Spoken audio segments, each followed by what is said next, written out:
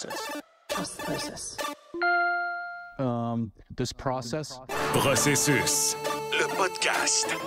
Avec Mathias Brunet et Simon Snake Boisvert. Trust the process. Trust the process. Épisode 17 de Processus. Simon Snake Boisvert, toujours en vert ou presque. Je te salue. Salut Mathias. Mon cher Pag, réalisateur, Salut les gars. qui, euh, qui, je le devine, devrait remplir une mission spéciale dans les prochains instants. Je te salue. Oui, bonjour, mais c'est vrai parce que je dois être euh, présent parce que je suis l'homme sandwich depuis le début de la, la série. Ah, c'est ça. J'ai des commanditaires euh, d'un bord et de l'autre, mais ce qui est bien, c'est que je suis capable de les transporter grâce à Cargaroos. Ah, transporté. Trouver la bonne voiture au bon prix grâce à notre vaste sélection d'évalua- d'évaluations et d'avis impartiaux sur les concessionnaires. Commencez votre recherche sur cargurus.ca. On tient à remercier Best Buy, fournisseur officiel pour tout l'équipement technologique du studio de la Commission athlétique, ainsi que le complexe JC Perrault pour tous les meubles. Vous pouvez encourager l'OBNL du complexe JC Perrault qui supporte la persévérance scolaire chez les jeunes en louant l'une des deux glaces à Saint-Roch-de-la-Chiga. Et nous, euh, on commence notre mission. Évidemment, euh, merci, vous avez été très, très, très nombreux euh, à la suite de notre épisode de la semaine dernière sur la loterie. Écoute, on a pété les scores, excusez-moi l'expression. On vous remercie de, continuer avec nous. Et dans la foulée, évidemment, avec le Canadien qui repêche cinquième, qui a un autre choix de premier tour, euh, avec les intrigues du repêchage, parce qu'il y a beaucoup d'intrigues après le premier rang, on continue. euh, à, en parler parce que ça, suscite beaucoup d'intérêt. Là, il y a comme des. euh, comme à chaque repêchage, il y a des modes. Il y a des joueurs, là, on commence à s'enticher de certains joueurs. Il y a les possibilités. Est-ce que le Canadien monte au. Puis là, écoute, moi, j'ai euh, j'ai sursauté un peu. Là. Il y en a qui commençaient à. C'est comme si le Canadien était obligé de s'avancer pour aller repêcher de, au deuxième rang, alors que c'est pas si clair que ça, que ça va être le deuxième joueur choisi. C'est pas si clair ce que le Canadien va faire. Fait qu'on est presque dans un meurtre et mystère en ce moment, repas en moins. Simon, qu'est-ce que tu euh, penses de la situation d'abord du, du Canadien? Est-ce que le Canadien, et là, toi, je sais que Goulet, tu, tu l'aimes bien, mais tu le vois moins gros que certains, comme moi. Et on en était quasiment rendu à offrir Goulet et le cinquième show au total pour le deuxième, alors que la cible du Canadien va peut-être être dispo. Euh, comment tu vois cette situation-là, toi? Bon, alors, je vais commencer par répéter pour la 17e fois, on est rendu au 17e épisode, que mon choix au cinquième rang serait Trevor Conley. OK. Alors, Ben, si c'est moi, je bouge pas. ouais. bon. Et, et Pag, tu auras compris qu'avec un prénom comme ça, c'est sûr qu'il veut choisir Trevor Conley. Ah, c'est sûr. Clemens. Oh, il l'a jamais vu venir, celle-là. Non, je l'ai pas vu venir. Même moi, je savais oui, pas hein? ce que tu t'en allais. Ah, Alors, mais on va, y aller, en on va y aller maintenant de façon réaliste. Selon Oui, la réaliste, situation, on sait que. Conley ne sera pas choisi là, Ouais. par le Canadien. Moi, je le fais pas. Et j'aime beaucoup Demidov. J'aime beaucoup ses habiletés. Mais est-ce que nécessairement c'est une valeur aussi sûre? Et quand je veux dire, quand je parle de valeur sûre, je parle de valeur sûre superstar. Ouais. Parce que c'est sûr, Demidov, ça va être un bon joueur. Ouais. Mais est-ce que c'est vraiment, tu sais, exemple, je vais prendre l'année passée Léo Carlson qui est sorti deuxième. Bon, Léo Carlson, tu t'avances pour lui. C'est sûr. Bon. Demidov, est-ce que tu t'avances pour lui? Je le sais pas. Ah, Alors, en cas de doute, tu t'abstiens. Mais tu le sais pas parce que tu l'aurais pas vu assez jouer ou parce que. on- on- C'est parce que moi, je l'ai vu seulement dans la MHL, la Ligue junior russe. Ah. Et là, tu as des beaux, des beaux flashs, là, mais. Oui, c'est extrêmement faible. Ouais. Alors, tu sais, si je l'avais vu dans la Ligue canadienne de hockey, si je l'avais au moins vu dans KHL, si je l'avais au moins vu dans des tournois comme le U18 ou le, le- le- le championnat mondial junior, Ouais. ben là, je pourrais me faire une tête. Là, je vois un gars qui tricote, qui fait des beaux moves, mais est-ce que je vois nécessairement euh, un- une superstar de la Ligue nationale? La raison est pas est ni oui ni non. Je le sais pas. Ouais. Alors, dans ce temps-là, tu bouges pas de 5 à 2, alors que tu tu sais pas. Il va peut-être être disponible au cinquième rang d'Emidov. Et là, pour, pour, je rappelle quand même aux gens, tu sais, il y a des grilles de valeur de chaque. Qu'est-ce qu'un choix au deuxième rang vaut par rapport à un choix cinquième et qu'est-ce que tu dois ajouter pour monter? Dans l'échelle des valeurs, là, pour passer de 5 à 2 à moins de- d'exception, ça te coûte au moins un, un autre choix de, de premier tour entre 25 et 30. Ouais. Disons que l'an dernier, là, tu as Léo Carlson qui est quand même tout un joueur. Tu as le Canadien à 5. Là, ils sont allés chercher New ce qui est bien. Oui. Moi, j'ai aucun problème à donner le 5, le 31 et le 37 pour monter à 2 puis aller chercher Carlson. C'est ça. Cette année, je le fais Ça, pas. c'est sûr que je fais. Cette année, je le fais pas. Non. Et, Marc Bain, si Demidov fait 95 points un jour, on dira pourquoi ils l'ont pas fait. Oui. Ouais, mais là, ça va être facile à dire. Qu'est-ce que tu me disais sur Carlson tantôt? On jasait avant de, dans l'auto, là. Ben, pour les, les, les, les gens qui ont commencé à suivre le hockey peut-être il y a une vingtaine d'années, moi, je le trouve, ou même une trentaine d'années, moi, je le trouve meilleur que Matt Sundin au même âge. J'imagine. Oh. Et Matt Sundin qui a eu une brillante carrière Ben à Toronto, un peu avec les Nordiques, mais surtout à Toronto. Alors moi, je, je regarde un gars comme Carlson, puis tu sais, il avait 19 ans cette année, puis je le voyais transporter la rondelle, les jeux qu'il faisait, il déjouait des joueurs, puis tu sais, ça se fait de façon très euh, smooth. Oui. Tu sais, c'est très fluide, Fluide, ces ouais. mouvements. Ouais. C'est extrêmement fluide, ces mouvements. Il y a des yeux tout le tour de la tête.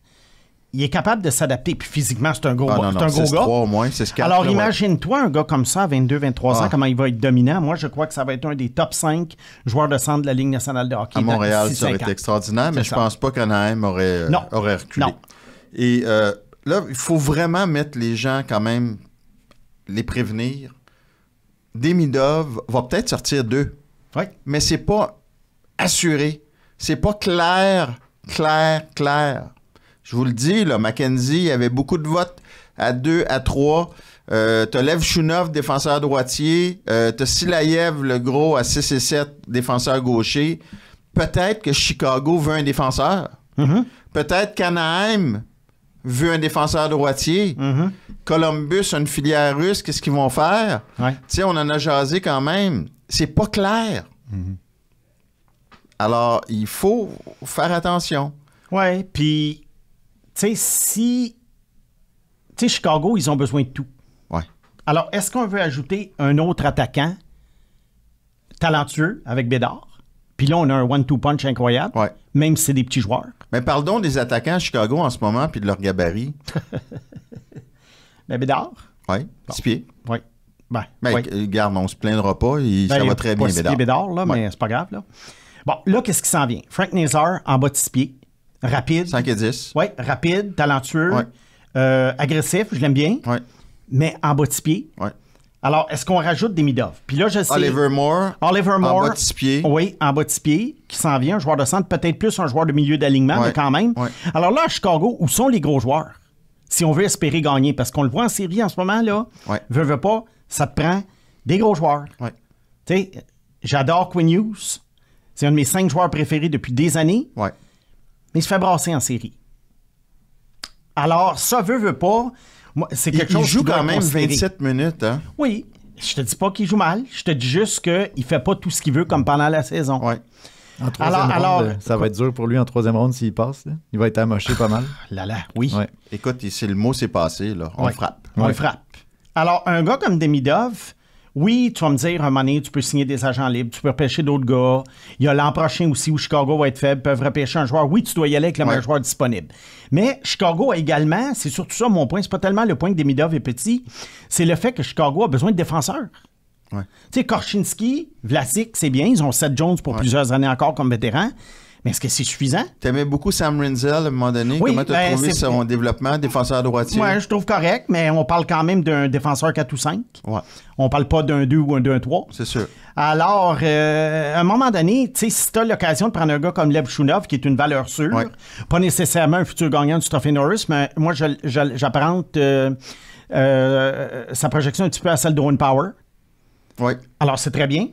Alors, peut-être que Chicago va se laisser tenter par un défenseur et va laisser passer Demidov. Le risque, cependant, en laissant passer Demidov, c'est que pour un joueur de saison régulière talentueux, qu'est-ce qui arrive si tu le laisses passer puis qu'il fait 100 points? C'est sûr. Mais là, tu vois, puis je viens, je viens juste de réfléchir à ça. C'était pas dans le, le plan de match. On parlait de- de- des petits attaquants et tout ça. Et, Ouais. et à Tampa, leurs joueurs d'élite sont pas gros là, à l'attaque. Pointe et Kucherov. C'est vrai. Puis Cirelli, c'est pas un, gros un costaud. Stamkos, c'est pas Il faut que énorme tu les entoures bien. Tu sais, ils sont allés chercher un Nick Paul. Oui, ben si c'est Chicago ça. peut repêcher Demidov Chicago et peut les faire ça. entourer, là. Écoute, moi, je dis meilleur joueur disponible. Si, Ouais. si dans leur li- liste, Demidov est, est deuxième, tu le prends. Bon. Je fais juste dire... Moi, j'essaie juste de voir comment ils peuvent penser. C'est ça, c'est dur. Puis y a-tu des ça. comparables? Ils vont-tu servir des comparables ou vont juste y aller à l'épreuve des yeux, genre se rendre ou demander à leur, euh, à leur dépisteur de faire une évaluation complète où ils se disent euh, Demidov, il y a tel nombre de points. On remarque que Kucherov, il y avait tel nombre de points dans la MHL. Je dis ça, il y a Ouais. sûrement pas la, grande différence, puis après, je vais laisser euh, Simon euh, aller, Ouais. c'est que Kucherov, à son année d'admissibilité, jouait à peine avec le grand club en KHL. était sur le banc. Ouais. Fait que c'est très difficile à évalu- évaluer, tandis que euh, Demidov a joué euh, un ou deux matchs en début de saison, même qu'on Oui. lui avait, on avait, on l'avait préféré à, À Mishkov Michkov, dans la même équipe. en début de Puis saison. après ça, Michkov a été prêté à une autre équipe, Ouais. très faible, et Demidov a été rétrogradé à la MHL, parce qu'il était plus jeune. C'est ça. Donc, est-ce qu'ils vont mieux se référer à des comparables dans la MHL ou. euh, Ben, tu vas peut-être essayer de le comparer, mettons. Il faut y aller de façon contemporaine. Là. Kucherov, ça fait longtemps quand même.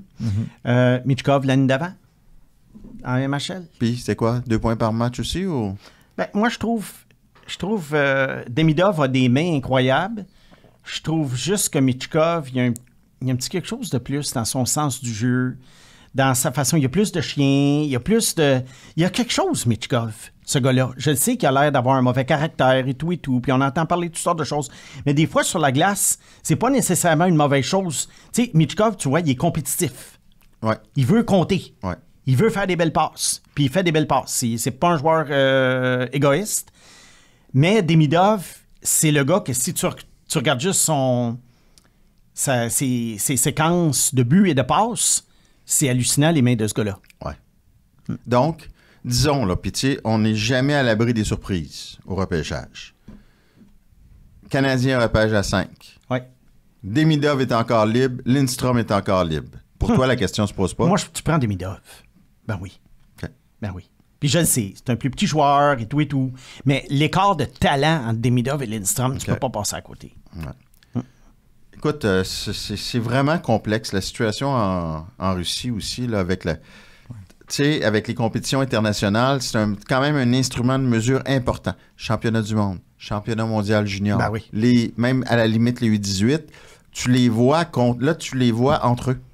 Ah, c'est tough. Puis encore, c'est difficile de. de- c'est de- tough de- d'évaluer les Russes depuis trois ans. Ouais. Est-ce qu'à un moment donné, il y a des sanctions qui vont être levées? On l'espère. Dans la, la Ligue canadienne de hockey, on réaccepte les Russes et les Biélorusses. On euh, cette espère année. surtout que la guerre Ouais. prenne fin parce Ouais. que c'est c'est épouvantable pour les, Pour tout le monde. les, les innocents. Ben oui. Alors, euh, si on peut régler ça, mais bon, c'est pas, ça n'a pas de la partie pour ça. Non. On n'entrera pas dans la géopolitique. mais euh, écoute, juste pour. Puisque c'est un- c'est notre premier segment, c'est un peu édito, puis euh, on, peut, on peut se laisser aller, comme dans n'importe quoi. Euh, tu parlais de Hughes Ouais. tantôt. Ouais. Pour qui c'est?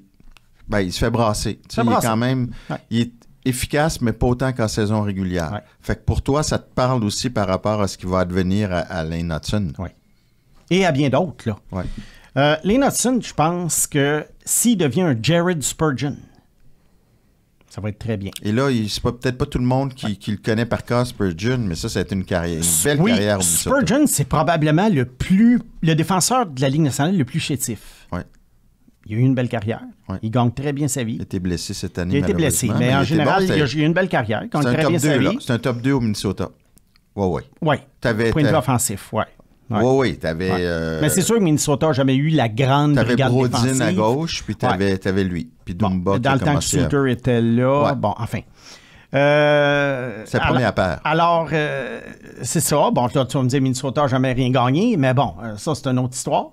Moi, je pense que, euh, le, le- pas le comparable, mais je dirais le, le, le, le- le- le joueur à viser en tant que carrière, en potentiel de carrière, c'est Jared Spurgeon. Ben, pour les écoute, ça serait très bien. Puis c'est drôle, tu sais, un défenseur de petite taille pour qui ça a bien été en Syrie à l'époque, c'était Tory Krug, Qui est à peu Ouais, près 5 mais, et 10. mais qui est plus fort que. Spurgeon et Hudson. Mais il- Hudson peut-être plus bulldog, développé un petit peu plus. plus, mais tu sais, il est à là. 5 et 9, Krug. Ouais. Puis ça- à Boston, ça a été bon, là. Ouais. Ça n'a pas ralenti en série. mais là. comme je t'ai dit, il est Ouais, très fort. C'est Ouais. ça. Puis euh, quelqu'un comme Hughes, est-ce qu'il va encore mettre euh, du muscle autour de la charpente, euh, vous Non. pensez? À 23.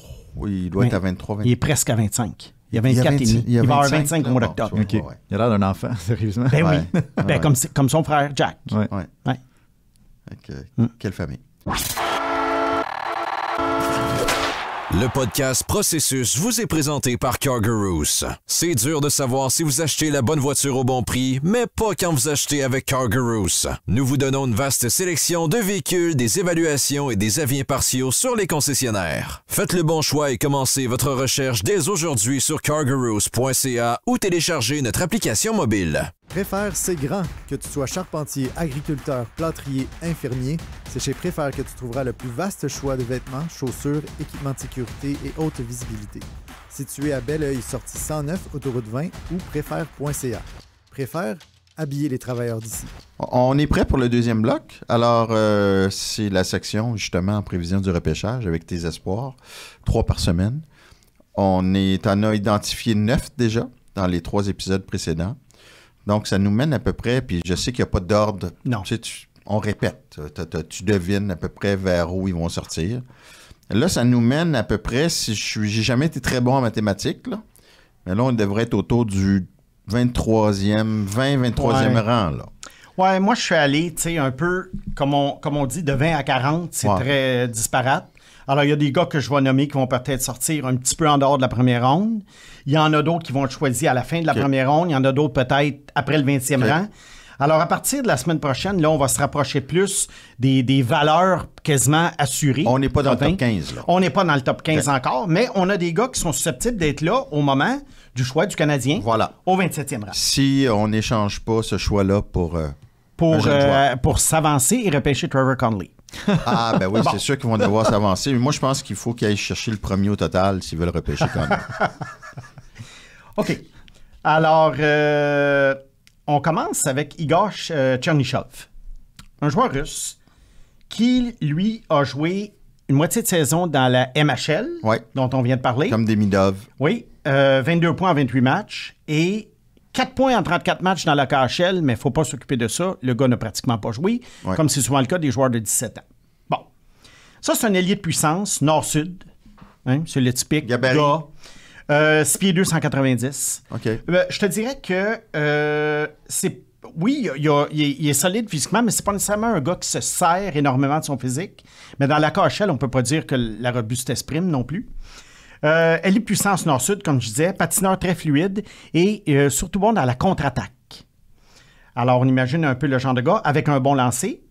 Et euh, le problème de ce gars-là, parce que là, tu vas me dire, là, je viens de faire une belle description, pourquoi il n'est pas top 15, l'effort n'est pas toujours constant. Bon. Ça, pour moi, c'est un signal d'alarme. Est-ce qu'il y a un potentiel top 6? Oui, mais là, on parle vraiment de plafond si tout marche bien. Parce que les, les- les- les qualités premières sont là. Et quand tu me dis qu'il est bon dans la contre-attaque, ça veut-tu dire qu'il n'est pas très bon dans les replis, ça? Ou... Ben, comme je t'ai dit, l'effort n'est pas constant. Alors, quand Ouais. on parle d'effort pas constant, en général, c'est surtout du côté défensif, du côté sans la Ouais. rondelle. Mais ça, c'est. Moi, pour moi, c'est des traits qui sont inquiétants. Oui. Le manque de constance, le manque d'effort. euh, Nord-Sud, tu te dis, bon, est-ce que tu veux. euh, tu veux repêcher un autre Sherbak ou euh, et compagnie, tu sais? Puis le fait que tu aies pointé la contre-attaque, on dirait que ça dit aussi qu'il est moins bon en finition. Moi, ça m'envoie Ben, ce signal-là. ben, c'est plus un. Oui, je comprends ce que tu veux dire. Non, c'est un, c'est un gars qui finit bien ses jeux. Euh, c'est juste que quand on parle de contre-attaque, c'est que, tu sais, la contre-attaque, c'est souvent que tu reprends possession de la rondelle rapidement. Mhm. Alors, le gars, il est capable de, de tourner sur lui-même, puis de vite s'en aller dans son corridor Je comprends. Ouais. avec le joueur de centre. C'est ce que je veux dire par contre-attaque. C'est- C'est pas le genre d'attaquant que tu peux aller chercher à 23, 24 ans pour un choix de deuxième tour, Oui. ça, éventuellement? Oui. Alors, pour moi, j'en parle. Oui. Est-ce que nécessairement c'est un gars, moi, qui, qui, qui serait top top sur ma liste? Est-ce que je ferais des pieds et des mains pour aller le chercher? Non. Mais écoute, euh, on, on le sait. Bon an, mal an, je le répète, 40-50 joueurs vont faire la Ligue nationale. Il faut pas s'attendre à ce que les gars choisis, choisis 28e soient toutes des vedettes. Ou 23e. C'est quoi, la 23e. moitié à peu près de. Écoute, encore? Ouais. C'est à peu près la moitié au premier tour. Quand je le dis aux gens, allez sur HockeyDB, prenez un repêchage et cliquez sur points. Et en cliquant sur points, vous allez avoir l'ordre du nombre de points en carrière des joueurs. Puis là, comptez les joueurs. Vous allez arriver au 25, 26e, les bras vont vous tomber.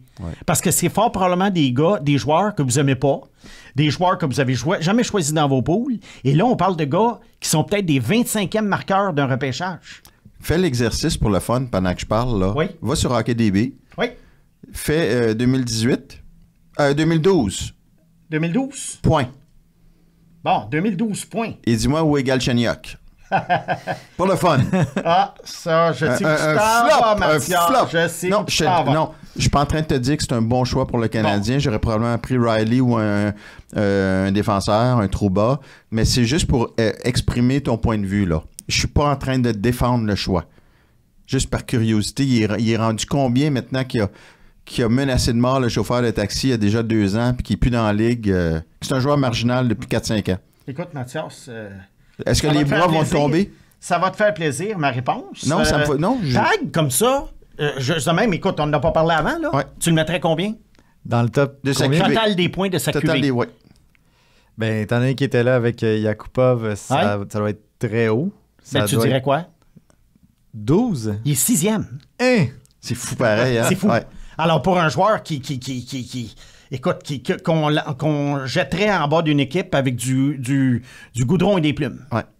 Fait que c'est, c'est, ça te montre aussi qu'il y en Mais a ça pas... n'excuse, ça n'excuse pas Trevor Timmons. Non, non, ça c'est sûr. Ni... Ouais. Trevor. Oui. On a assez parlé de Trevor pour l'instant. Là. Alors, revenons à nos moutons. Alors, euh, on va parler du deuxième joueur. Cole Baudouin. Alors, malgré le nom à consonance francophone, ce n'est pas un francophone, c'est un joueur qui joue dans la Ligue de l'Ontario à Barrie. Alors, un joueur qui est assez faci- ben, facile, plus facile à évaluer que les autres. Ah. La fameuse Ligue de l'Ontario, Oui. qui, qui ressemble pour moi, c'est ce qui ressemble le plus à la Ligue nationale de hockey. Alors, je suis capable de me faire une tête sur un joueur comme ça. Euh, écoute, 6 pieds 2, 210. Une charpente, là. Vraiment un colosse. Une sculpture. Oui. Euh, c'est un joueur qui fonce au filet, qui est extrêmement compétitif. Donc, un joueur que les coachs vont adorer. Il gagne ses batailles pour la rondelle. Et une fois qu'il a pris son envol, il patine vite. Alors, les premiers pas sont peut-être pas super rapides, mais après ça, l'accélération, quand il la prend, ça va bien. Parce que le, le problème, c'est qu'il n'est pas super agile. Bon, mais ça, c'est normal, un gros gaillard comme ça. Un genre de Nick Paul ou quoi? Moi, je le trouve moins bon que Nick Paul, mais je comprends ta, ta comparaison. C'est un joueur qui pourrait peut-être jouer sur le désavantage numérique, jamais mauvais à avoir. 28 buts, 34 passes en 67 matchs. On parle de presque un point par match à 17 ans, ce qui est bien, mais il n'y a pas euh, les qualités offensives nécessaires pour jouer sur un top 6. D'après moi, ça, c'est un profil de troisième trio, joueur utile. C'est pas mal sûr qu'il va jouer dans la Ligue nationale, Ouais. mais prenez pas ça dans vos poules de hockey. Déjà plus intéressant que ton, ton, ton espoir précédent, là. Pour moi, oui. En fin première, début deuxième, évidemment. Là. Euh, Puis tu sais, quand tu projettes toujours un club de séries éliminatoires... Toujours, toujours. Un club de séries éliminatoires qui aspire à la Coupe. Ouais. Mais de l'autre côté, euh, ton choix avec. À place de prendre Baudouin, tu veux pas essayer d'échanger ton choix? Ben, c'est qu'il y a d'autres joueurs que je préfère. C'est ça. Alors, toi, tu parles du 27e choix? Ouais. Non, écoute, il va y avoir d'autres joueurs euh, que Ah je oui. vais nommer qui, qui vont être encore là, que je préfère à Baudouin. Mais Baudouin est une option pour un club qui veut euh, bâtir brique par brique Mhm. avec un mix intéressant. On parle de mix, hein? Euh, une équipe aspirante à la Coupe. Mais Ouais. c'est pas un choix top 15-20, là. Julien Brisebois était, était en onde à BPM lundi après-midi. C'est vraiment intéressant. Il parlait du repêchage. Eux, ils n'ont pas de choix dans les premiers tours. Mais ils se préparent, évidemment. Je pense que leur premier est au cinquième tour. ils se préparent comme si c'était. ils- comme s'il y avait tout leur choix. Ouais. Et ce qu'il a dit de vraiment intéressant, puis je veux le rapporter, ça c'est. Il dit généralement, les gars qu'on va repêcher au cinquième tour, c'est des gars qui sont au- deuxième tour sur notre liste. C'est normal. C'est fou pareil, là. Ben oui. Parce que les choix sont tellement variés Oui. Que ton choix de. C'est ça. un choix de 5, 6, 7, il est haut sur ta liste. Alors, c'est- Hmm. D'ailleurs, euh, dans les questions des auditeurs, Ouais. on va toucher un petit peu là-dessus. Ah, OK. Parfait. Alors, c'est une bonne introduction. OK. Euh, le troisième joueur, Aaron Kiviariou. Aaron Kiviariou, pour ceux qui suivent les sports de près, ça fait quelques années que son nom circule comme un possible top 5 Wow. en 2024. Sauf que là, cette année, il est arrivé quelque chose.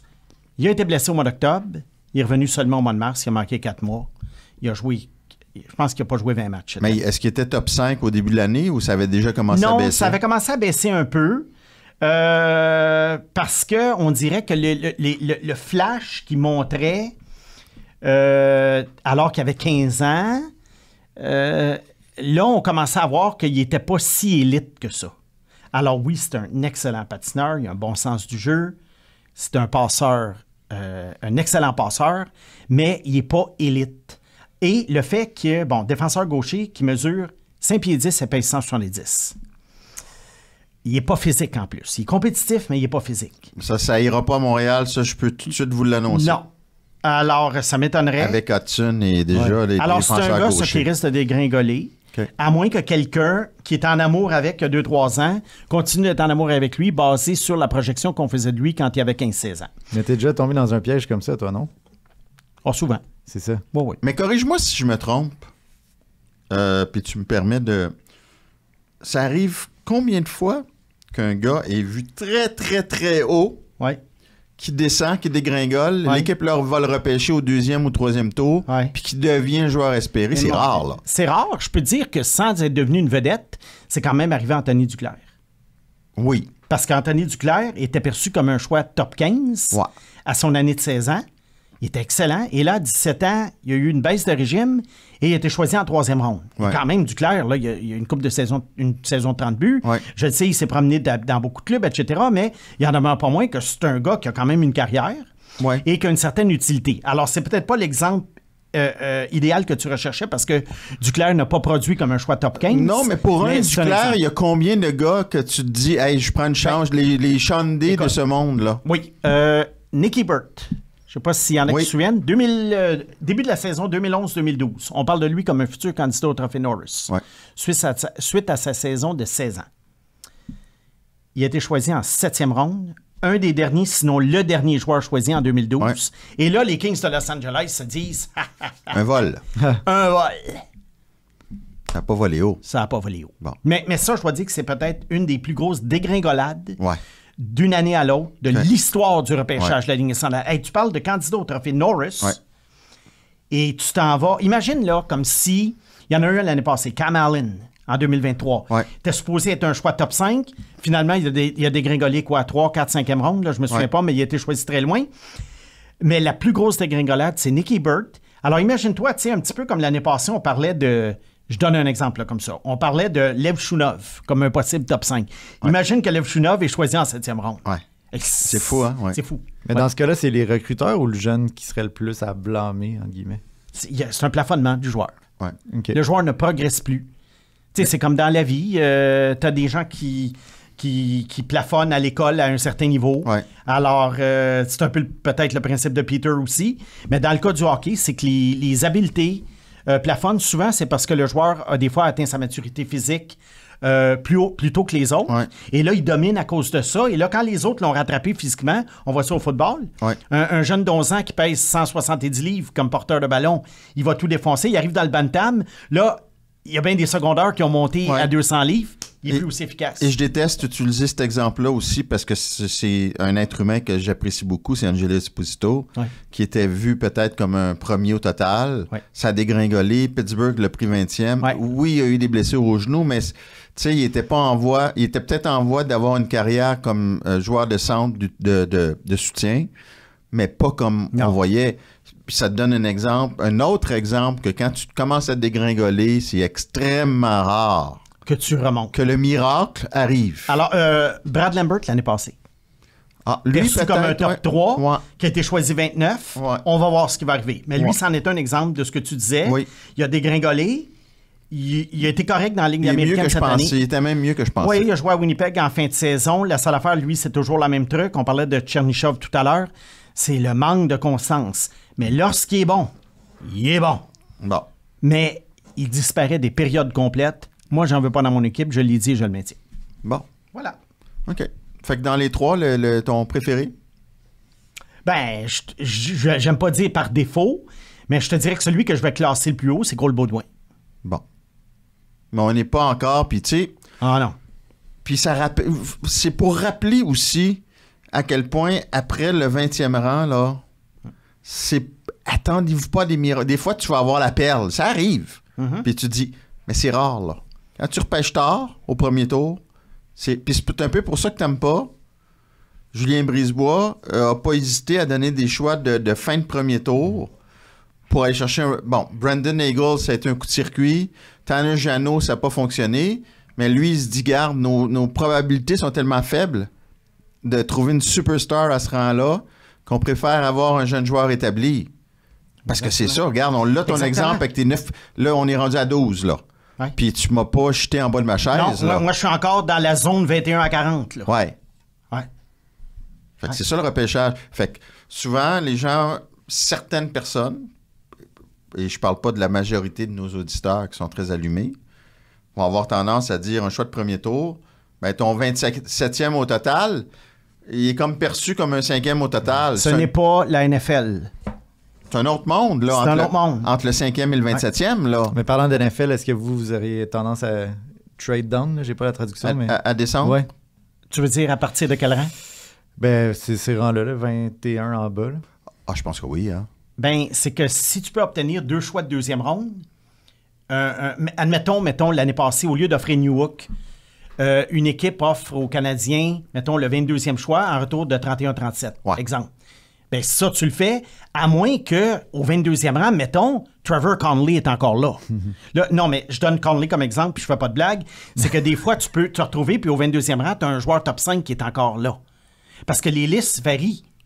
Les listes des gens varient. Alors, si tu arrives à un moment donné au, euh, au, euh, au euh, 22e rang, puis tu dis, waouh, ce gars-là, il est classé sixième sur notre liste, ben toi, ça vaut, ça vaut le sixième choix. Là, tu le fais pas, l'échange. Mais si tu es rendu au 17e, 18e sur ta liste, parce que c'est sûr que quand tu arrives à un certain rang, c'est officiel que le gars que tu vas choisir, il est classé plus haut. Alors, quand on dit, les, les- les directeurs gérants disent, je peux pas croire qu'il est encore là, ben c'est sûr.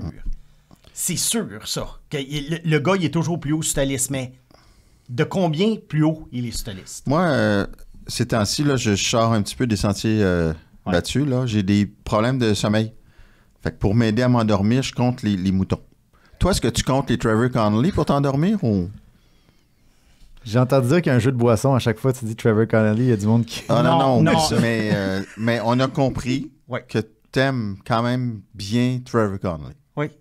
Il a besoin d'être... Ah, il je a besoin d'être bon. Il a besoin d'être bon. Oui, avec le, au vas- nombre d'auditeurs qu'on a, puis au nombre de fois que je le répète comme un vieux Ouais. radoteux, Ah non, c'est c'est- c'est- c'est bon. pire Ben- qu'un vieux radoteux. ben, c'est là. de l'acharnement. Là, c'est de l'acharnement. Positif, de l'acharnement C'est presque une micro-agression. Ben, oui, ben, comme avec Jeff Skinner en 2010 sur ton blog. Ah oui. Euh, tu faisais un sujet, Mathias, puis je disais, OK, c'est plate aujourd'hui, parlons Ouais. de Jeff Skinner. Ouais, C'était de la micro-agression. c'est ça. En effet. Bon. Écoute, je vais suivre la carrière de ce gars-là là, comme un faucon. Et sur ça, il trouve même, là, il nous parle des espoirs entre 20 23 et, et 30, puis il trouve le moyen de placer son Trevor. Écoute, on pourrait parler de, euh, Formule 1. de Formule 1, de la guerre en Ukraine, puis il trouverait moyen- le moyen de placer Trevor Oh. Conley. Oh oui. Aïe, aïe, aïe. Oh oui. Bon, ben, écoute, merci pour, euh, pour ces précieuses informations au-delà de, de nos taquineries. Le podcast Processus vous est présenté par Cargorous. C'est dur de savoir si vous achetez la bonne voiture au bon prix, mais pas quand vous achetez avec Cargorous. Nous vous donnons une vaste sélection de véhicules, des évaluations et des avis impartiaux sur les concessionnaires. Faites le bon choix et commencez votre recherche dès aujourd'hui sur cargorous.ca ou téléchargez notre application mobile. Préfère, c'est grand. Que tu sois charpentier, agriculteur, plâtrier, infirmier, c'est chez Préfère que tu trouveras le plus vaste choix de vêtements, chaussures, équipements de sécurité et haute visibilité. Situé à Belleuil, sortie 109, autoroute 20 ou préfère.ca. Préfère, habiller les travailleurs d'ici. Pour ce troisième bloc, évidemment, on arrive à notre euh, section des questions sélectionnées par notre Simon national. Et là, euh, évidemment, je, je veux vous rappeler, puis là, euh, Simon a émis la, première question, mais essayez de vous nommer, là. On, est, on, on veut vos noms, là. Là, Mayhem 79, c'est correct, mais nommez-vous. C'est tout le temps plus intéressant. Lui, euh, Mayhem, ne comprend pas, Snake, de se mettre des barrières en divisant en groupe ses espoirs. Lui, je le prendrais, mais pas top 5 ou top 10. Un joueur au deuxième tour peut devenir meilleur qu'un premier choix total. Si t'aimes le profil d'Eguin-là, que tu penses qu'il va devenir un top 6 et que tu trouves qu'il cadre bien dans l'avenir de ton équipe, prends-le, peu importe le rang de sélection. Écoute, c'est un- super commentaire. Parce que moi-même, je me suis posé la question parce que je me suis trouvé illogique. Alors, je vais essayer de, de le clarifier tout ça. Je crois que si tu adores un joueur et que tu repêches, mettons, cinquième et que le gars, peut-être, il est projeté pour être dixième ou onzième et que tu l'adores, prends-le. Ben oui. Bon. Moi, cette idée-là vaut plus pour ce que j'appelle en anglais les, les, les value picks. Dans le sens que c'est un joueur qui, au rang où tu le sélectionnes, a une meilleure valeur que la moyenne des joueurs choisis à ce rang-là. Ouais. Bon. Alors, moi, cinquième, Eguin-là, pour moi, c'est pas un choix optimal Ouais. considérant le rang de sélection. Pour moi. Ouais. Alors, à ce moment-là, là, mettons que Egan-là est là cinquième, ben, je le prends pas, mais c'est tout simplement parce qu'il n'est pas dans mon top 5.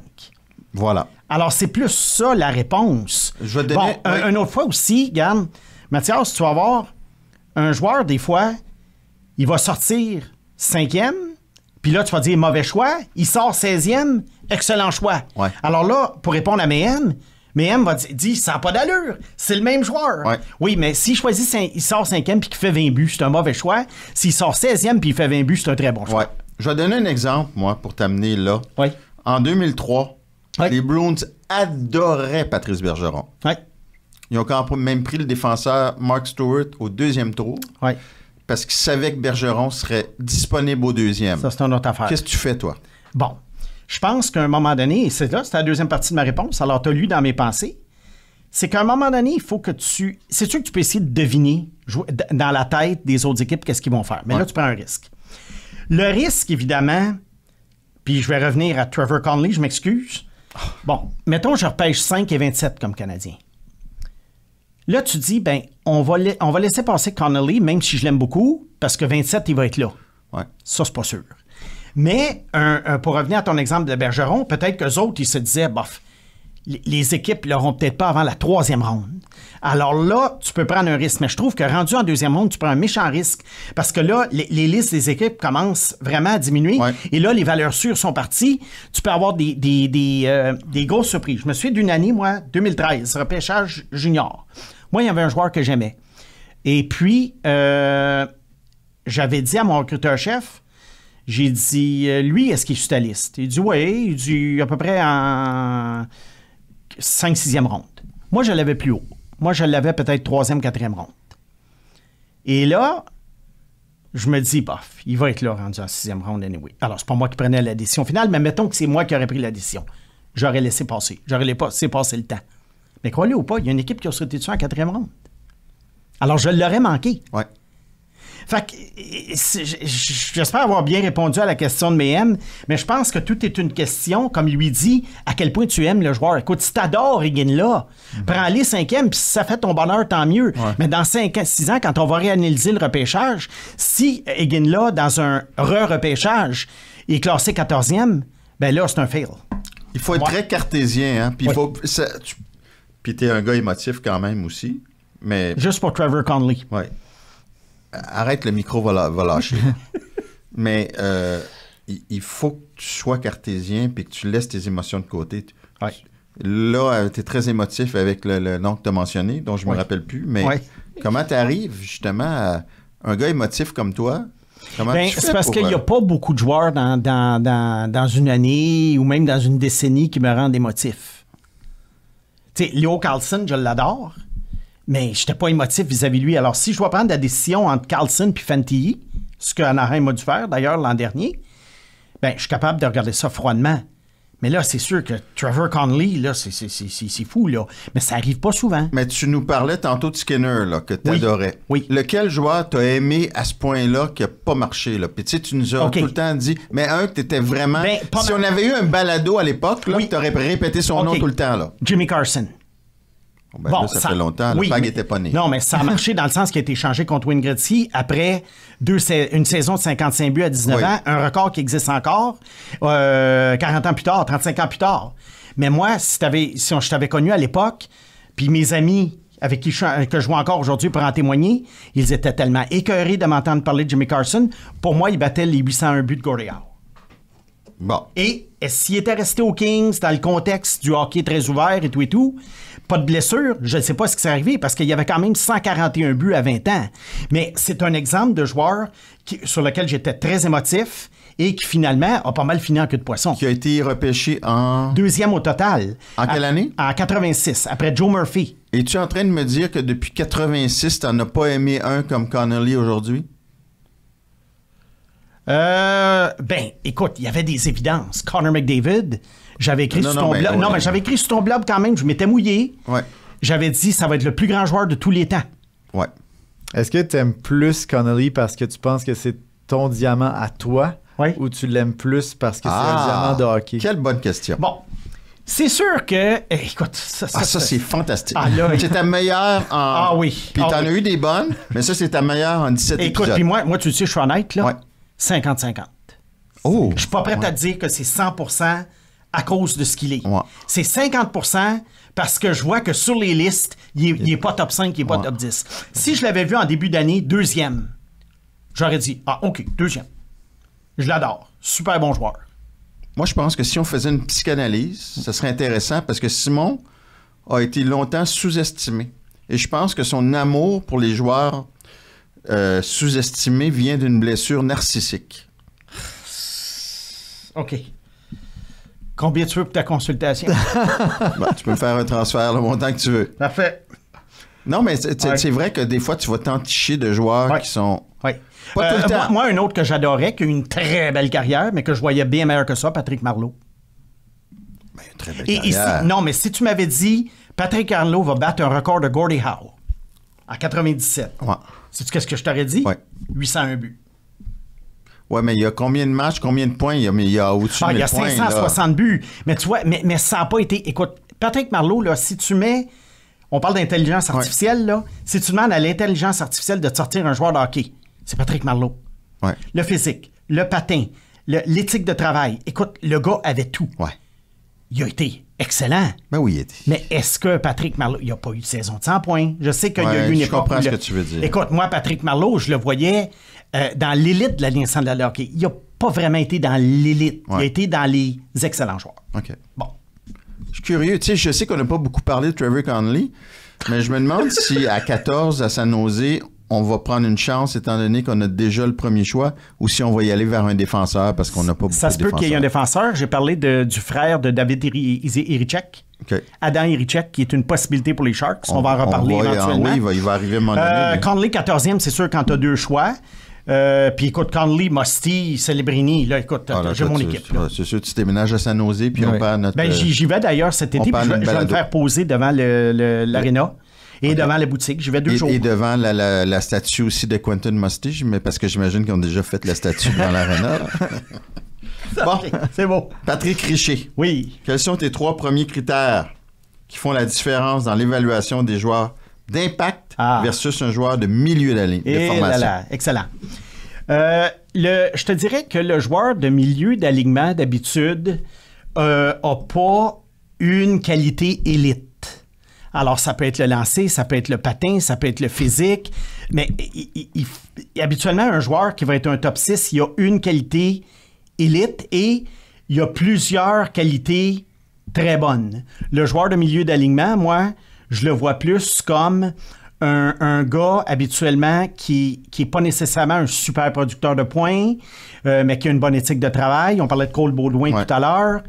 Euh, habituellement, là, c'est- quelqu'un à qui il manque quelque chose pour être un grand producteur de points ou être euh, une, force au sein d'un top 6 et être capable de le maintenir de façon constante de 18 à 22 minutes par match. Donc, Nick Suzuki n'a pas de qualité première puisque tu le vois comme un joueur de milieu de formation. Ben, je t'ai parlé de deuxième centre au sein d'un tu club m'as dit champion. qu'il fallait qu'il soit cinquième. Oui, cinquième joueur. Alors, Milieu t'es de dans le top formation. 6. Non, milieu de formation, il y a 12 attaquants. Je joue pas avec les mots, là. Puis, euh, pars-moi pas, là. Hey, justement, je Canadien- veux te partir. Canadien est en vacances, là. Je peux-tu savoir? Je veux te partir. Ma- Mathias, Canadien est en vacances. Je peux-tu avoir la. la, la, la- Ben la- non, on parle de repêchage, là, puis du cinquième rang. Oui, là. oui, ça, c'est important, ça. Mais là, Nick Suzuki, là, on en parle toute l'année. Bon, next. Bon, mais parlons de Michael Pizzetta, alors. Mais toi, Mathias, qu'est-ce Ah. que tu répondrais à cette question-là? Euh, écoute, ça, ça ressemble pas mal à ce que tu... euh, les mains, très important. Parce que la vitesse, à la limite, tu peux compenser que ton intelligence. C'est ça, et- c'est ça. Fait que pour moi, là, déjà, le gars qui a pas une tête de hockey, moi, je suis allergique. Hmm. Ça te prend des habiletés indi- individuelles, un minimum. Le patin, ça se travaille. La tête, ça se travaille pas. Fait que ça ressemble un peu à ça. Voilà. Après Patrick Richer, on y va avec Michel Bouchard. Mhm.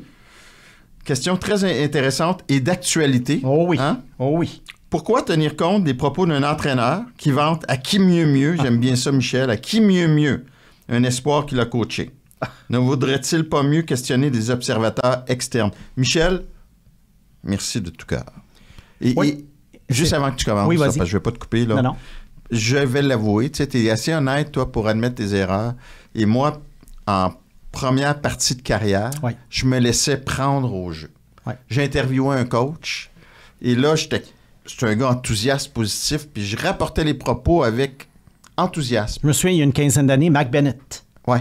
Chez ceux qui se souviennent, un espoir Ouais, du Canadien. ouais. Ouais, Et- qui et était ça- beaucoup vanté par son coach. Et, et c'était, ça reflétait pas la réalité parce que l'entraîneur va tout le temps surévaluer son joueur. C'est sûr. Je te laisse aller. Écoute, c'est très d'actualité. Vas-y, Pac. Non, mais c'était juste pour. euh, j'ai l'impression que la question est dirigée, j'ai, j'ai, mais ça me revient pas. On dirait qu'il cible un joueur en particulier. Ben là, ça, ça va bien. Ben, je ne sais pas s'il cible un joueur en particulier, mais parce qu'il y a beaucoup de cas. Euh, il y a beaucoup d'articles qui sortent où euh, les, le- les- les journalistes ou les, les- les- en question, ou les, les- les rédacteurs de blog, peu Ouais. importe, qui ont accès aux, aux entraîneurs, habituellement, lorsqu'ils font un profil d'un joueur moins connu, la première réaction, c'est d'aller parler à son entraîneur. Ouais. Ils ne parleront pas nécessairement aux entraîneurs adverses ou aux joueurs adverses, ils vont parler aux coéquipiers ou aux joueurs, au, au coach. Le coach, c'est sûr que, tu sais, premièrement, tu ne parleras pas contre ton joueur. C'est sûr. C'est officiel. Deuxièmement, euh, tu vas toujours euh, y aller avec les, les- les côtés positifs. Donc, le coach ne ment pas nécessairement, mais tu vas les exagérer des fois. Et là, on a l'exemple où je m'en vais, Ouais. où je m'en vais. Euh, Oliver Kapanen, Ouais. espoir du Canadien. Nicolas Cloutier qui a fait une entrevue avec le coach de Kapanen, qui va bien Kapanen. Et, et Nicolas a fait sa job quand même. Tu sais, il interview, il prend le, le- Mais pour moi, écoute, le coach a, Mais a pourquoi dérapé. toujours parler au coach? Ouais, Tu sais, C'est bien de lui parler.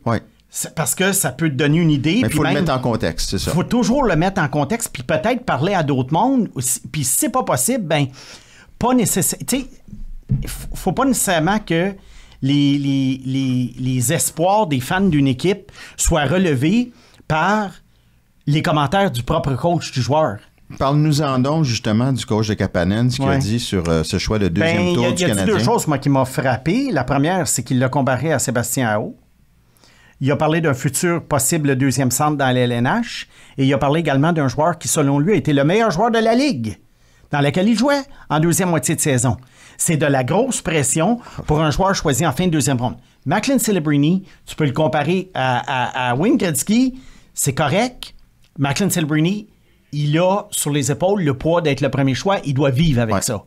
Mais Oliver Kapanen, euh, il n'a pas besoin de cette pression-là. Il y a eu des bonnes séries. Il y a eu un point par match en série. Euh, il y a un bon début de championnat mondial. Mais là, il va avoir 21 ans cet été. À cet âge-là, Sébastien Nao avait 65 points en 78 matchs avec les Hurricanes de Caroline. Alors, tu compares ce kid-là, qui est encore en Finlande, avec un des meilleurs centres de la Ligue nationale de hockey. Pour moi, c'est non seulement déraisonnable, c'est insensé.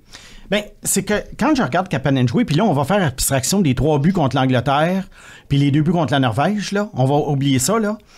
On, on- on va regarder un petit peu comment il, il- son profil. Premièrement, il avait 20 ans cette année. Il était à l'âge de jouer à Laval. Ouais. Alors, même repêchage que Joshua Roy.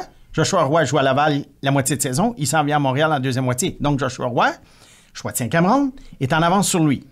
Parce qu'il est dans la LNH. C'est sûr. Bon. Alors, Kapanen, pour moi, c'est une saison perdue. Je m'excuse, mais jouer en Finlande, puis en Suède, puis en, en- en KHL, pour moi, ce sont des saisons perdues rendues à 20 ans. Euh, le genre de joueur qu'il est, c'est un joueur qui, qui est responsable, c'est un joueur qui joue bien sa position. Il est très, très, euh, je dirais, impliqué.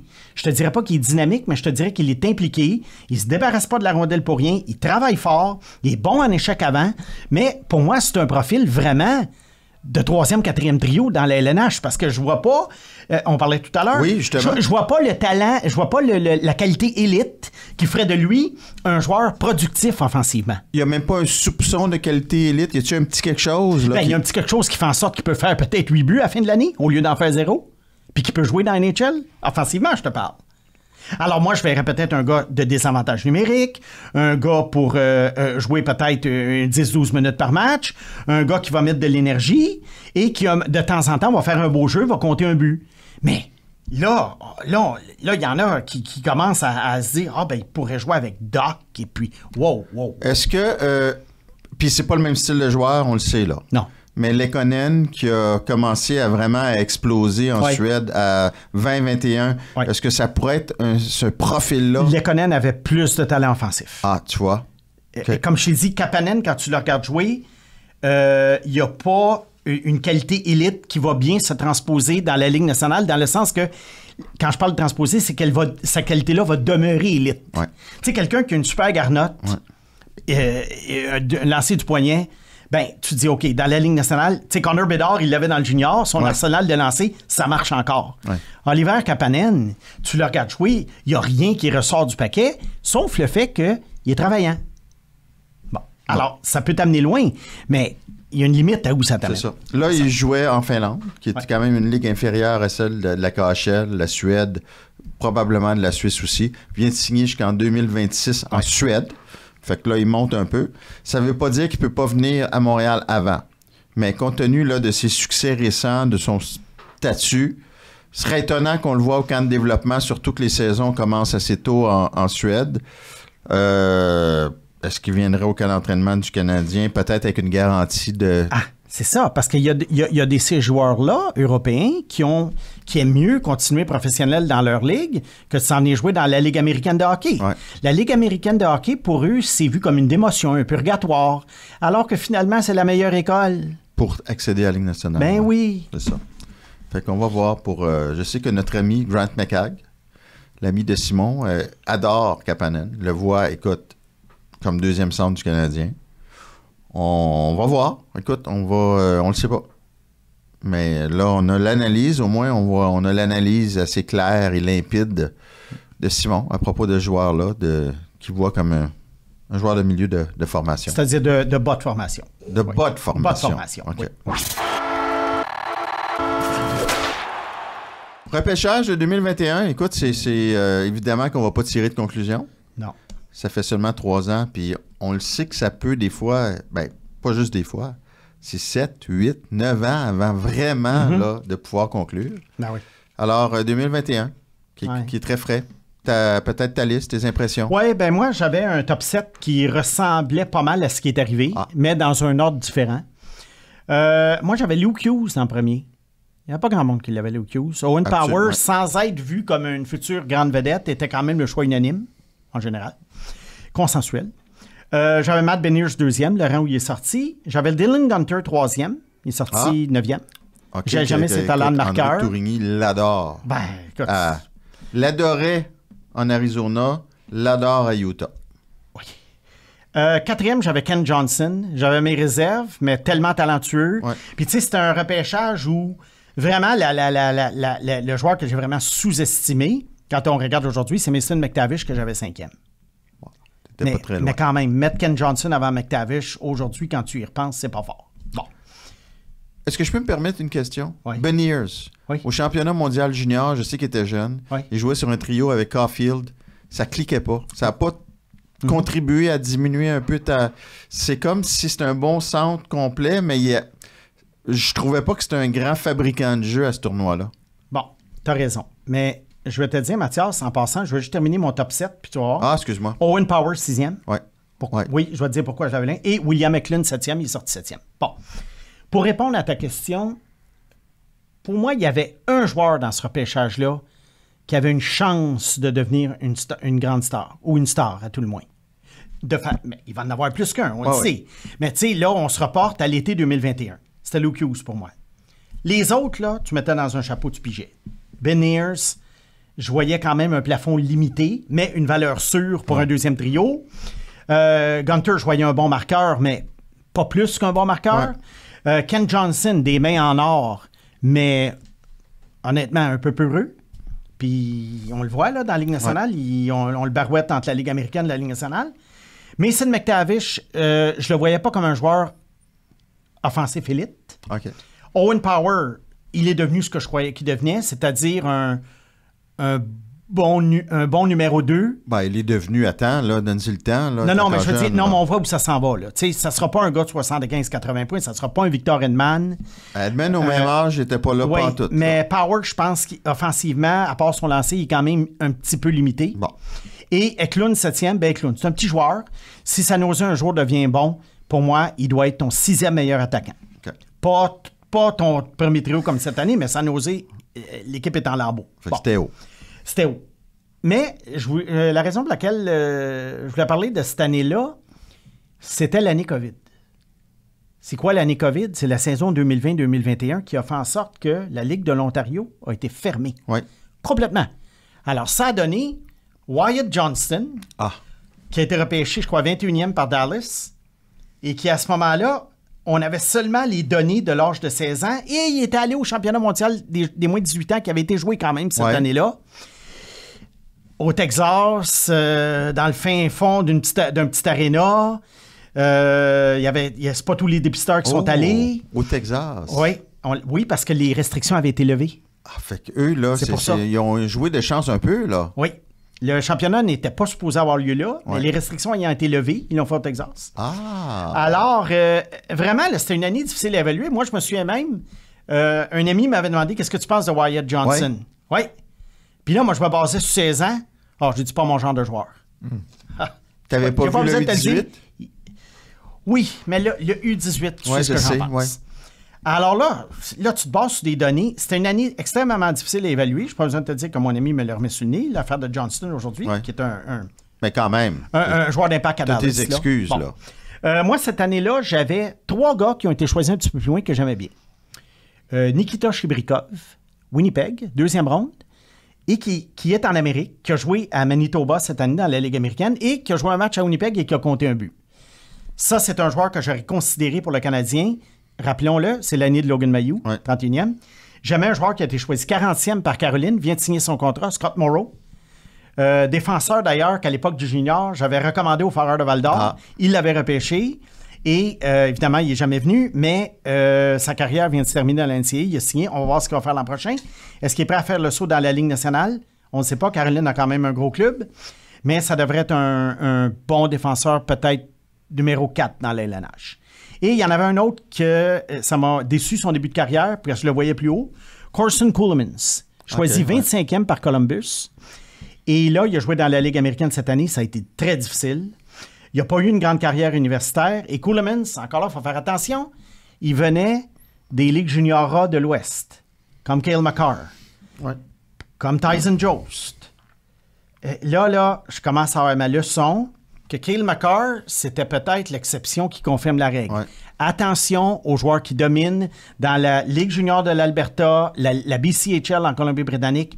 Attention. Ouais, mais là, après, tu t'es en 2017, tu fais quoi? C'est un autre maker qui arrive. Je le sais, sais, mais c'est pour ça que je prends toujours la chance d'en mettre un quand Ouais. je l'aime. Mais là, je suis un petit peu plus prudent parce que Coleman, si ma mémoire est bonne, c'est un gars, je pense que j'avais à peu près. Euh, j'ai pas ma liste devant moi, mais je l'avais certainement euh, top 10, 10 ou 11. Là. As-tu d'autres exemples de joueurs de l'Ontario Oui. qui ont soit monté ou descendu à cause de la fermeture de la Ligue? Euh, écoute, c'est trop tôt encore pour Ouais, le dire. Le- le- L'exemple qui saute aux yeux, c'est Johnston. Il y a McTavish qui ça avait causé une surprise qui jouait choisi troisième. Ouais. Alors, on voit que Martin Madden et son équipe, eux, ont essayé de faire une projection et à date, on peut dire qu'ils ont frappé dans le mille parce que McTavish, c'est un gars, tu vois, moi je l'avais cinquième, mais c'est un gars que je voyais peut-être sortir en- entre 5 et 10. Ouais. Et alors, j'ai sursauté quand j'ai vu qu'il était sorti troisième parce que pour moi, c'était Luke Hughes le choix à faire. Ouais. Et Luke Hughes, quand même, très belle année recrue au New Jersey. Encore des choses à améliorer, mais euh, c'est un- c'est une version plus costaud de son frère Quinn. Et, et, et Hughes, euh, défensivement, c'est pas une préoccupation pour toi? Ouais, ben, il- écoute, il a 20 ans, là, il est jeune. Ouais. Tu Mais pour même, employer tu au pour employer une expression que tu as souvent employée dans le cas de Kotkaniemi. Code Kanyemi. Oui. Qu'est-ce que j'ai utilisé? Qu'il a seulement 20 Il est ans. jeune, il y a seulement 20, il y Même, a seulement même- 21, il y mais a même seulement au 22. championnat mondial Là, junior. tu avais de nous dire qu'il y a seulement 24. Non, tu sais que j'ai abandonné. OK, parfait. Il est à temps. Moi, je... Ben oui. Euh, Hughes, au championnat mondial junior, quand même, il jouait à profusion, mais c'était contre des joueurs de son âge, défensivement, c'était pas tout le temps évident non, Non. plus. Là. Tu comprends? Tu sais où je m'en vais, là. Oui, je sais où tu t'en vas. À New Jersey cette année, euh, est-ce que son, son offensive va compenser pour sa défensive? Je pense pas. Mais euh, da- dans la balance, éventuellement, je crois que son offensive va faire pencher euh, plus bas que sa défensive. Là, évidemment qu'on va deviner la réponse. Mm-hmm. Il y a euh, comme une idée préconçue selon laquelle Logan Mayou, Ouais. s'il n'y avait pas eu cette histoire-là, Ouais. euh, hors glace, aurait été repêché plus tôt que le 30 et- 31e rang au total et que le Canadien a, en bout de ligne, Hmm. réussi à avoir un joueur qui aurait été coté plus haut. Tu l'avais où, par, par exemple, mais Ah, je aussi, pense- euh, moi, je l'avais début deuxième, 34-35. fait qu'il sortait à peu près où Oui. tu pensais, là. Oui, Logan Mayou, là, il est en train de devenir ce que j'ai toujours cru. La seule chose, c'est qu'à un moment donné, il y, a- une, genre d'effervescence, tu il y a une genre de, de- de- d'engouement qui fait en sorte que euh, si tu vois pas le gars euh, défenseur top 2 ou top 4, t'es dans le champ. Logan Mayou, moi, j'ai toujours été constant dans mon affaire. Moi, j'ai toujours vu comme un sixième défenseur d'un club champion. Bon, fait Alors, euh, alors, ça reste là. Pour le moment, ça reste là. 4-5 du Canadien dans les prochaines dans- années. Oui, c'est ça, Canadien. Mais Canadien est 27e. Mais quand Canadien, ou si Canadien devient quatrième au total du, du classement, pas sûr, moi, qu'il va être euh, dans le top 2 des défenseurs euh, Droitiers. droitiers. OK. Parfait. Ben écoute, ça... est-ce qu'on a fait le tour de 2021? Est-ce qu'il y en a d'autres? euh, Non, ben c'est le trop Canadien, tôt. Oui, c'est trop tôt. Ben, Canadien, c'est l'année d'Oliver Kapanen, dont Ouais. on vient de parler. C'est l'année également de roi. Riley Kidney. Euh, alors, deux choix de deuxième ronde, euh, côte à côte, qui, d'après moi, bon, Kidney, je pense que c'est un joueur pour Laval. Joshua Roy, cinquième ronde, une belle surprise dans le sens que ce gars-là, euh, après son année de 15 ans midget, il était perçu top 10. Après son année de 16 ans, il avait commencé à descendre un peu. Et après son année de 17 ans, il y en a beaucoup qui le voyaient mi-deuxième ronde. Alors, c'est quand même surprenant qu'il soit sorti cinquième ronde. tu l'avais où, toi? Euh, moi, je l'avais euh, à peu près dans le coin de Maillot, début, entre le début puis le milieu de la deuxième ronde. Bon. C'est un gars avec qui j'aurais peut-être pris une chance au 40e, 50e rang. OK. On va accueillir euh, notre ami pour sa troisième chronique. Et euh, vous allez voir aussi qu'il a déjà porté une moustache. Un cadeau de Jimmy Thompson, ça? I'm gonna kill the bastard. Boys are gonna pay for this. Thompson l'a pogné par en arrière. Hey, le chat! T'es revenu! Une chance! Templeton s'est fait planter. On a besoin des nouveaux goals. Shut your goddamn trap, cause you won't make it to the next game. No one's taking my spot. Mac, Mac, come on, je faisais une joke, là. Lambert, il est capable de prendre ça. Lui, il a pas peur de personne. Check ça, bro, man. Come on.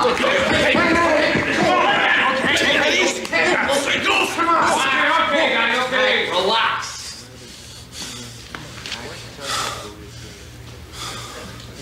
Jimmy Thompson won't be on his case for long, Saturday. You can call me on that. Yeah, you're gonna go and get it? You bet. Ça, ça fait-tu encore mal? Only when I laugh.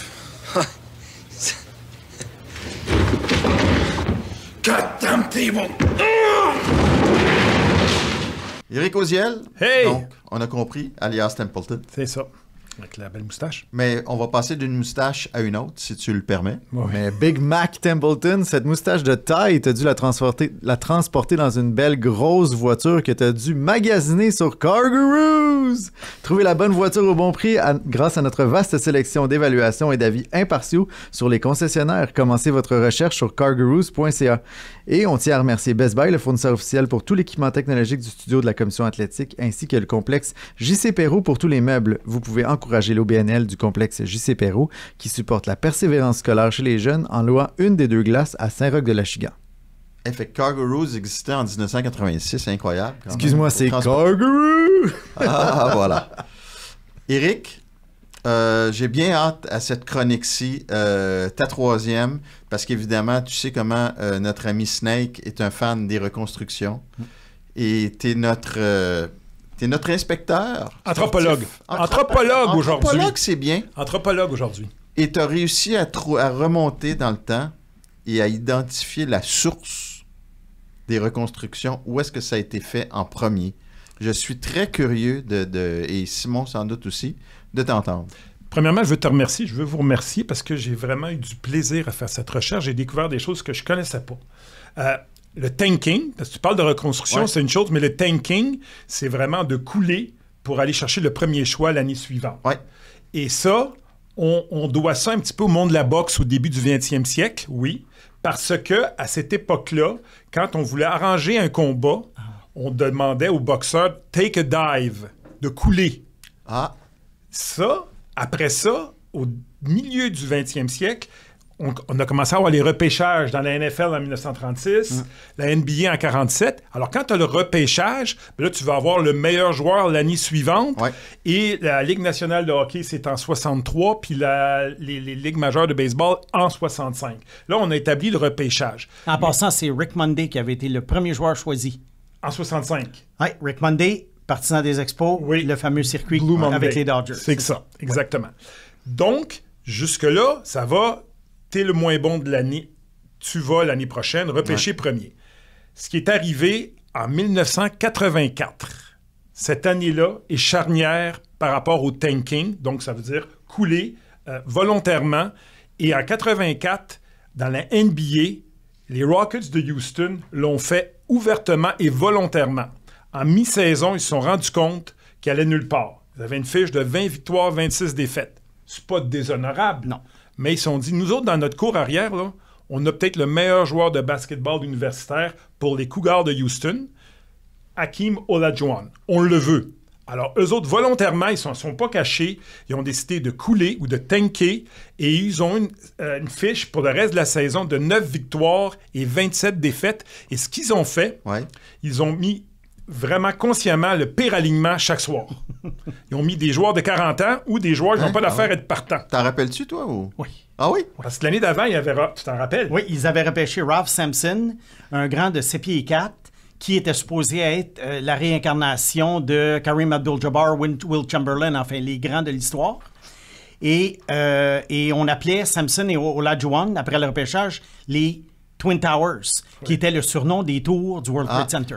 Et, et dans ta, ta recherche anthropologique, est-ce que tu as, su comment ça avait réagi à, à l'époque? Ça avait été un 84? scandale. Ah oui. Parce que c'est la, saison 83-84.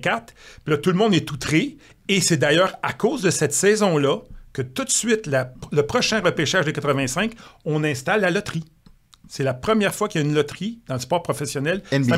NBA. OK. La Ligue nationale va arriver 10 ans plus tard en 95.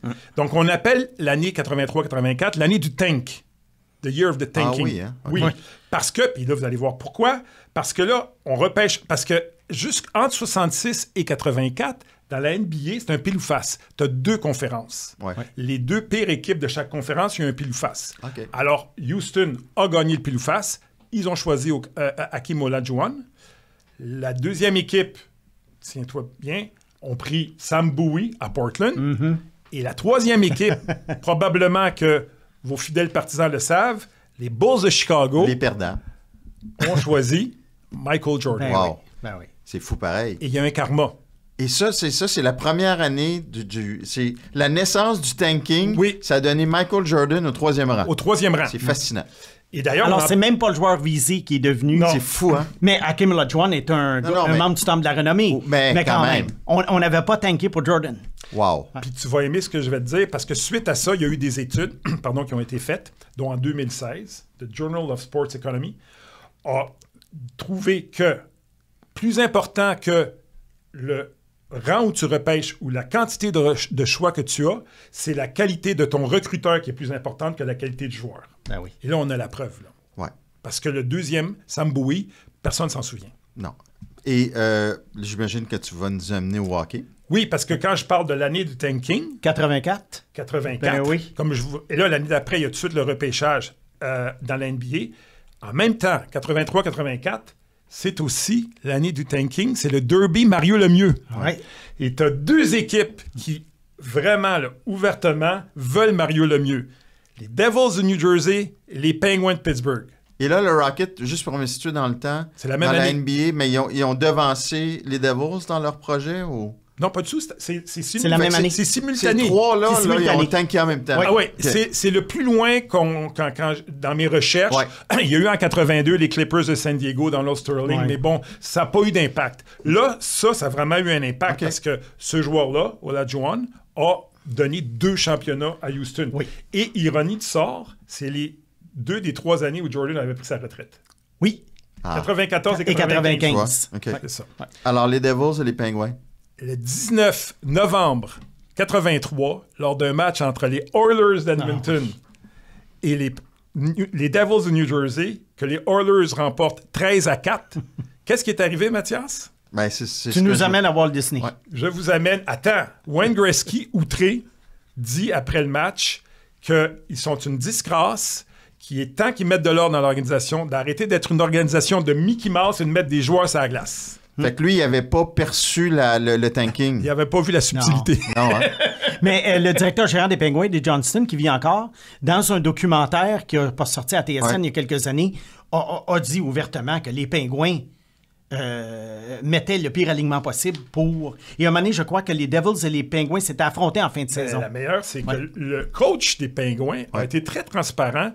Lou Ngotti, euh, et c'est la seule saison qu'il a coaché les Pingouins, Lou Ngotti a dit ben moi, là, écoute, nous autres, on veut le Derry Mario Lemieux. Il dit même, ils ont mené 3-1 contre les Rangers lors d'un match après la première période. Il est rentré dans mon bureau, il m'a engueulé, en me disant Qu'est-ce que Ah vous oui, faites hein?